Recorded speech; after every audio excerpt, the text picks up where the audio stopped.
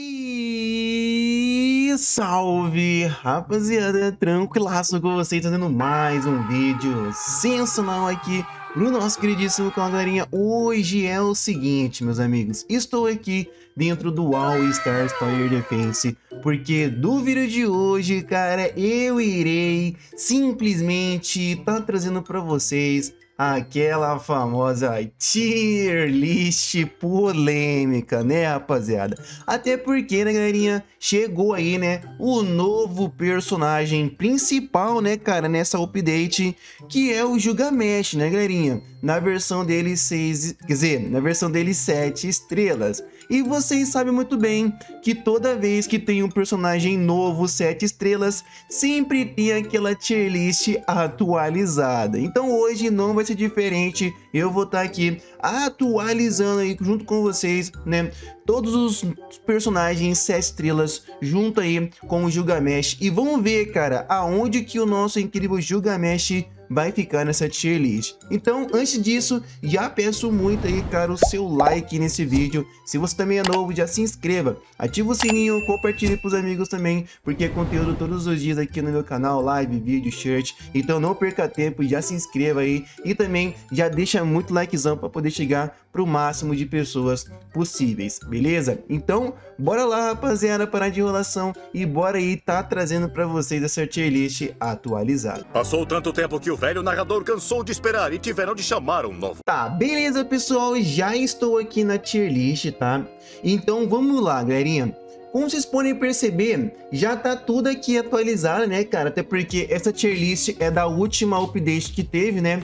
que chegou aí, né, pessoal, dois novos personagens 7 estrelas, que no caso foi o Eren e também a Emir, beleza? Então esses foram os dois novos personagens que chegaram aí na última atualização, beleza? E hoje vamos aqui tá colocando aí o novo personagem 7 estrelas que vai ser aí o Gilgamesh, beleza? Então vamos lá, pessoal, eu vou estar tá aqui recapitulando para vocês, né, a tier list, tá? Então vamos lá.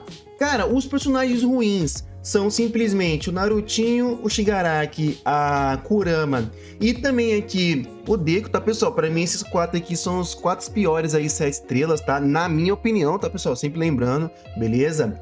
É, os personagens usáveis, eu coloquei o nosso... o Cell, coloquei a Princesa, o Metal Cooler, o Mochi e o Vegu. Por que eu coloquei o Katakuri e o Mochi aqui, pessoal? Quer dizer, o Katakuri e o Metal Cooler. Porque, cara, ambos os personagens são extremamente usáveis, né? O Katakuri por causa do slow, né? E também o Metal Cooler por causa da sua, da sua eficá eficácia, né?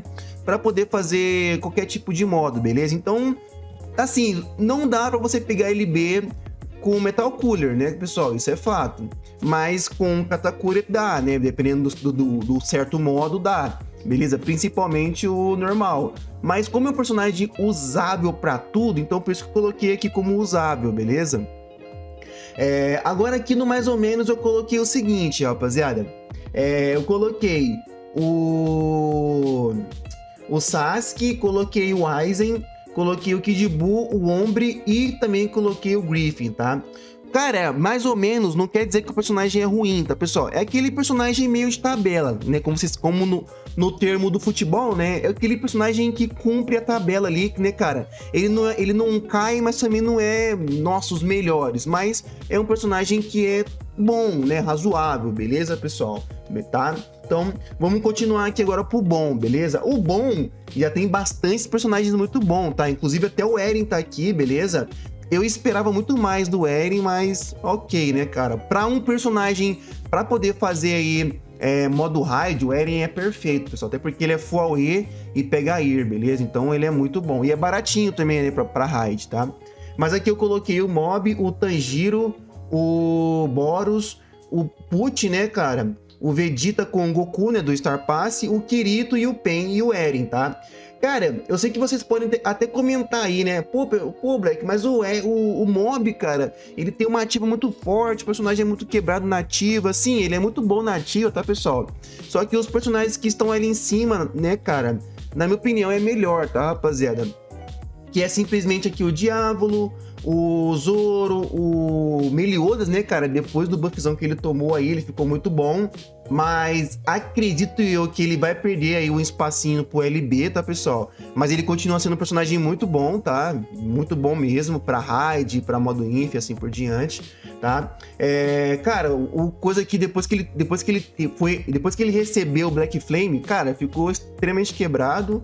O Gohan depois do buff ficou muito bom também. Se eu não me engano, acho que ele voltou de novo a ser Metair, tá, pessoal? Se eu não tiver enganado.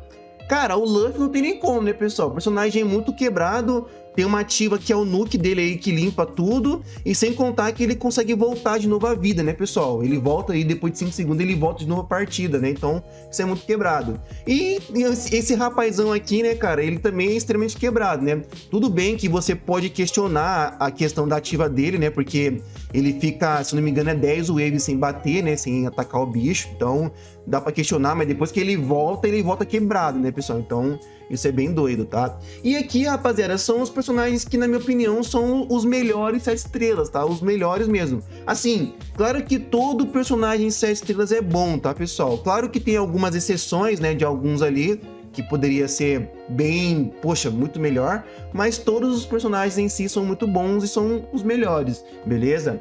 É, aqui eu coloquei o Broly, o Gertz, o Goku, é, o Gojo, o Yamamoto, o Rei Quincy e a Emir aí, né, que foi a última personagem 6 estrelas. Agora, meus amigos, é que entra o novo personagem 7 estrelas, né, cara? E aonde que esse personagem vai ficar, meus amigos? Cara, desculpe lhe dizer para vocês, mas esse personagem aqui, ele é o top 1, pessoal. Sim, hoje, hoje, ele é o top 1 melhor personagem 7 estrelas, cara. Indiscutível, rapaziada. Você pode falar que a Emir, ah, mas a Emir é melhor. Sim, você pode falar aí por causa das habilidades dela, mas cara, hoje, hoje, na minha opinião, o Gilgamesh é o melhor personagem 7 estrelas, o top 1. Eu sei que ele pode brigar até mesmo com a Emir, tá pessoal? Porque a Emir é extremamente apelona, cara. Ela é uma personagem extremamente apelona. Mas cara, o Gilgamesh quase um bilhão de damage, pessoal. Se ele não for nerfado, né? Mas hoje, hoje, ele tá quase batendo um bilhão, cara. Nunca na vida que eu esperava que um personagem iria bater um bilhão de damage. E sem contar a habilidade dele, cara, que reduz 75% da vida total do personagem. Por exemplo, rapaziada, se o personagem tem um milhão, né? Um exemplo, tá? Um exemplo. Um milhão, ele vai para 25 25, né, pessoal? Só da sua vida, entendeu? E sem contar que se, se o personagem tiver menos 25% de chance, é, é hit kill na hora, tá, pessoal? Beleza? Então, o personagem é muito quebrado, ele é muito forte. E, cara, eu posso até, vocês podem até me, me comentar aí depois nos comentários, mas para mim hoje é o, o melhor personagem, assim, top 1 sete estrelas hoje para mim é o Gilgamesh. Mas eu quero saber a sua opinião, cara. Para você, você concorda que o Gilgamesh hoje é o melhor personagem de sete estrelas? Eu quero saber a sua resposta aqui nos comentários. Então comenta aí, cara, ó, o top 1, eu quero que vocês comentem assim, ó, o top 1 é tal personagem, beleza? Pode comentar nos comentários, eu quero ver show de comentários aí qual que é para você o top 1 personagens 6 estrelas. Já, de, já falei o meu, para mim é o Gilgamesh, mas eu quero saber o seu, beleza? Então é isso aí, rapaziada. Se você curtiu aqui a tier list atualizada, já comenta aí nos comentários e dá o likezão aí para poder chegar o máximo de pessoas possível, beleza? Vou ficando por aqui, até o próximo vídeo e fui!